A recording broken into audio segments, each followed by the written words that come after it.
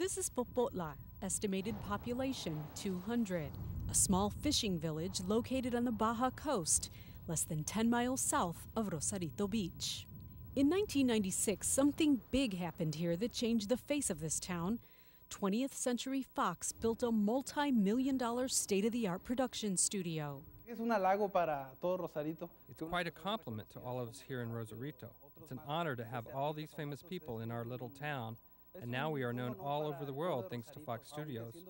Known all over the world because of this Academy Award winning hit movie. When you saw the movie, did you know? No. No. I figured it would be No. filmed in some cold place.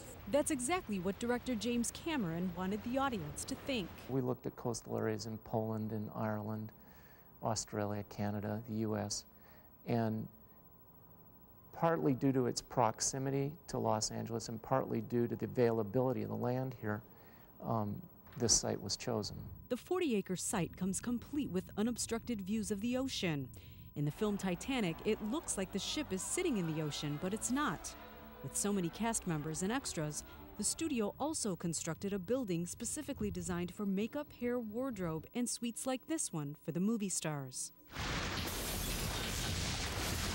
Crews can also recreate just about any water scene. They do it using three separate giant concrete pools or tanks. When combined, these three tanks hold up to 20 million gallons of water. Arneson says Fox's decision to head south was not an easy one. Getting the proper permits from the Mexican government was no easy task. But officials like Hugo Torres Chabert, former Rosarito mayor and owner of the Rosarito Beach Hotel, welcomed the studio with open arms. After all, production crews and movie stars would have to relocate to Rosarito in some cases for as long as seven months. Pensábamos en, la, en toda la economía en general. We were thinking about the economy in general, all the carpenters, costume designers, security guards. We were thinking of the whole town. And the whole town did react. Hundreds of Mexicans, like 26 year old Rolando Navarro, applied for jobs at the Baja Fox studios. It was done by a Mexican engineer here in Mexico. Navarro, a former aircraft mechanic, is now one of the tour guides at the studio's Titanic Museum. He also had four small parts in the movie Titanic.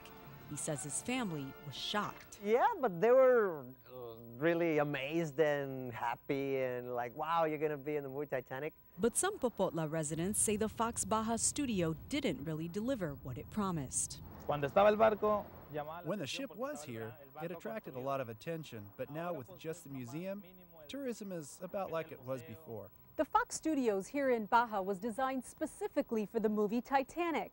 But since then, other movie makers have decided that they too would take advantage of the low production costs here in Mexico and the proximity to the ocean. So production on other movies has since continued.